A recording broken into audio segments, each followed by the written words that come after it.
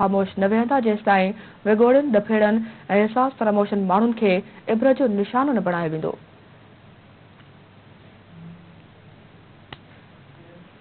पाकिस्तान में अमरीकी मिशन जे नायब सरबराह एंड्रियो शोफर एकटीह मई खां टे जून ताईं सिंध जे राजधानी कराची जो दौरो कयो जंहिंजो मक़सदु अमरीका पाकिस्तान सब्ज़ इतिहादु फ्रेम वर्क सूधो पाकिस्तान में सिहत जी सार संभाल ऐं तालीम जे शबनि में अमरीका जे सहकार तोड़े अज़म खे उजागर करणु हो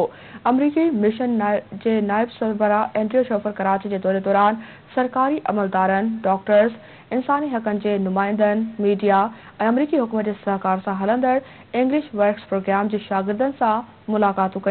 अमरिका ऐं पाकिस्तान पारां इतिहाद फ्रेमवर्क वसीले मुस्तबिल में पेश ईंदड़ माहौलियाती मार्च के खेल तौर मुंह ॾियण लाइ कई पी वन डीसीएमओ एंड्रियो शोफर एम ओर के हमथाने खे पाकिस्तान के सामुंडी मामलों के वज़ीर सैद फैसल सब्ज़वारी हुकूमती अमलदारनि ऐं निजी शोबे के सां से मुलाकातू क्यों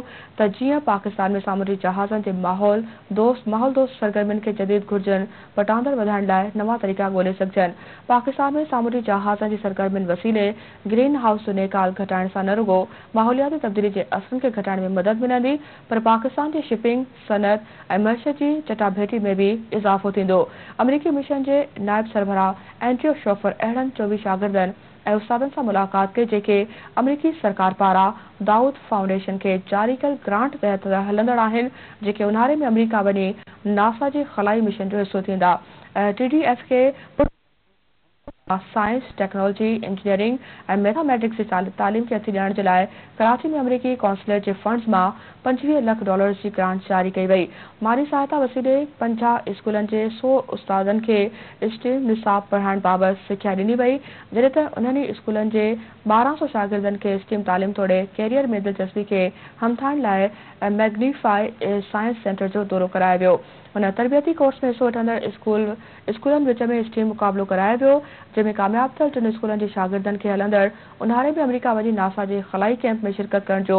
ज़बरदस्त मौक़ो फराहम कयो वेंदो शफर सिंध में एंटीओ सफ़रानी जे अमलदारनि ऐं पोरे जे वज़ीर सां गॾु मज़दूरनि जे हक़नि बाबति हिकु मुबासे में हिसो वरितो जंहिं दौरान ज़रात जे शोबे में मज़दूरनि जे हक़नि जे पामाली ऐं ॿारनि जी जबरी पोरे वारनि मसइलनि ते वीचार वंडिया विया